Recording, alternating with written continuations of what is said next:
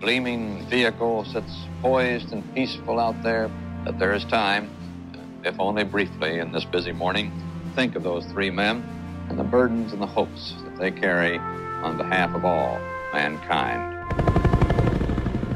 From the backwoods of Florida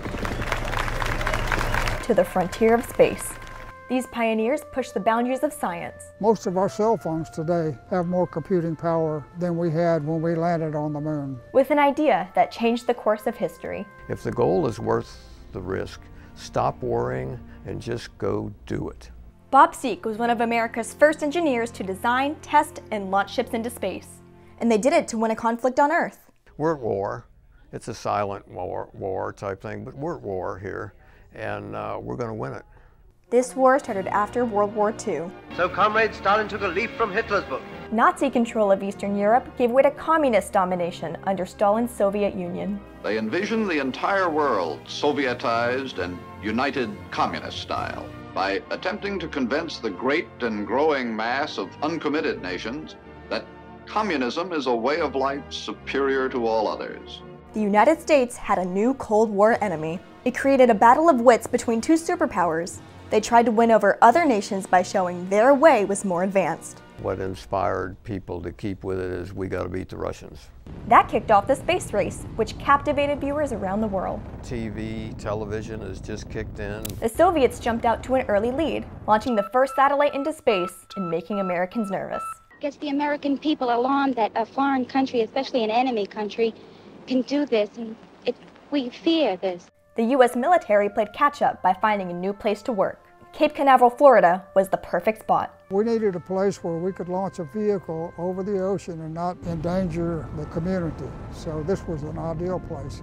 And closer to the equator than most of the nation, which improves rocket flight. Here in 1958, a newly created agency called NASA developed the Mercury program to send men into orbit. Uh, lift off and the clock is started. Then President John Kennedy came up with an idea that changed the game. He set a single goal with a deadline many thought impossible. To achieving the goal before this decade is out of landing a man on the moon and returning him safely to the Earth. They would need a new, much larger spaceport near Cape Canaveral that we would later call Kennedy Space Center. Here, engineers like Ken Boinbuff designed and built the Saturn V moon rocket, the largest ever built. And I still have vivid memories of walking on the side of one of those vehicles looking up and thinking, my goodness, I mean, how fantastic is that? Charles Murphy helped build the Saturn V's midsection. Well, my career started in, in weaponry. He was a weapons expert who had been testing nuclear bombs. The power that that unleashes, it was frightening. he went from destroying to creating. The challenge of going to the moon was just overwhelming. It inspired engineers who were driven by nature. A lot of us had spent time in the military. We were mostly guys. Mostly guys, with one exception in the firing room. JoAnn Morgan was Kennedy Space Center's first woman engineer. I always thought I would get married, have four to six children, and I'd be a piano teacher. Until her senior year of high school, when America launched satellites and hooked her on space. It was the new knowledge. That was, that was what grabbed me. And I thought, maybe I want to be an engineer. She embodied NASA's can do spirit before she even applied. And I thought, surely they'll give me a chance to do this, and they did. But being a trailblazer did have its challenges. There's no ladies' restroom. Right off the bat, the test supervisor told me, Oh, we don't have women working here. I called my boss. My boss said, Sit down, plug in your headset, go to work. They finally just got used to me. They adjusted and they came together like family. The camaraderie that people had for one another, the people just kind of fell in love with one another, probably because we had a single goal. And they craved the freedom to improvise. Hey, if it didn't work, don't do a drawing. Go to the grinder, grind the damn thing off, stick it back in. If it works, okay, well, we'll go with this. This is what we're going to do. Milt Heflin was an Apollo recovery engineer, meaning he got it out of the ocean when it splashed back to Earth. I, I had a lot of freedom to just go do stuff, and and that was huge.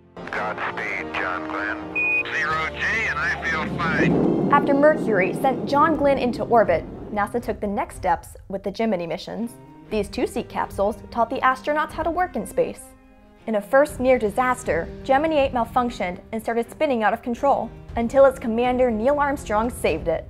NASA then transitioned to the three seat Apollo capsules, designed for reaching the moon. But Apollo 1 caught fire during a mock countdown. It killed astronauts Gus Grissom, Ed White, and Roger Chaffee. I can hardly even think about them without without tearing up uh, because they're comrades. It's probably something I will never get over. And, and that's what drives us to perfection. We don't ever want that to happen again. It set NASA back more than a year as they redesigned the capsule. So, NASA took an unplanned leap. I mean, everybody was in a let's go, let's go get it done. Instead of a planned test flight around Earth, Apollo 8 took off to orbit the moon. It was the gutsiest thing that this team has ever done in human spaceflight. Then Apollo 9 and 10 led to the historic flight of Apollo 11. NASA chose Gemini 8 hero Neil Armstrong to command, Buzz Aldrin to pilot the lunar lander, and Michael Collins to pilot the command capsule. Zero, all engine running. Liftoff, we have a liftoff. 32 minutes past the hour. Liftoff on Apollo 11. The whole room shook, my consoles, and I put my elbows on my chair at one point, and I could feel the vibration through my bones. After four anxious days, Apollo 11 reached the moon's orbit. Let's hang tight and look for landing radar. On July 20th, 1969, Armstrong and Aldrin took the lander called the Eagle down a new frontier called the Sea of Tranquility. Bravo 2. But its computer malfunctioned and steered them toward the side of a crater. And so there was a lot of tension. the firing rooms and the control rooms in Houston were quiet. 60 seconds.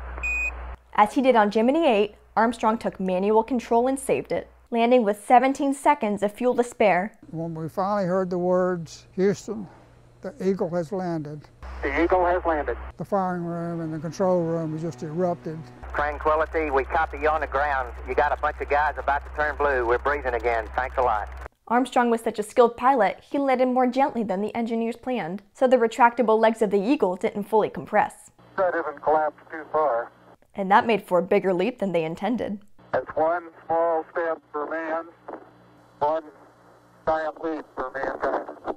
This is the moment the US beat the Soviets and mesmerized nations around the world. The first time I can think of that people all around the world, we were all doing the same thing. We were all locked on to watching these men as they landed on the moon and as Neil Armstrong stepped out. What was it like watching a man on the moon? What was going through your head and heart? It was it was just uh, you know, careful. Sometimes I still get choked up about it a little bit. For every American, this has to be the proudest day of our lives. Because of what you have done, the heavens have become a part of man's world. It helped the United States win the Cold War. They look at Kennedy as a can-do center. No matter what the problem is, we figure out a way to make it happen. The Soviet Union sputtered and dissolved 22 years later.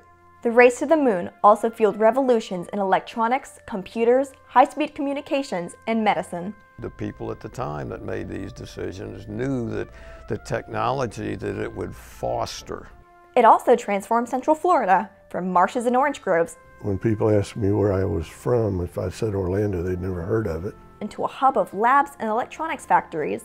With a mass migration of young families taking high paying jobs and the flood of space tourists, it drove pent up demand for family entertainment, which Walt Disney tapped into and built the theme park capital of the world. I thought we died and gone to heaven. There's no way in the world I was going to ever leave this place. And now their work is inspiring the next giant leap. And liftoff of Artemis 1. Embarking on a brand new program that has much, much more potential than we had during Apollo. The discovery of ice beneath the lunar surface is driving NASA back to the moon, this time to build a permanent colony. That ice can be mined and electrolyzed by solar power to make water to drink, air to breathe, and rocket fuel for manned missions from the moon to Mars and far beyond. We have only just begun to discover what we don't know yet. We don't even know what we don't know. We choose to go to the moon in this decade and do the other things, not because they are easy, but because they are hard. Because that goal will serve to organize and measure the best of our energies and skills. Because that challenge is one that we're willing to accept, one we are unwilling to postpone, and one we intend to win.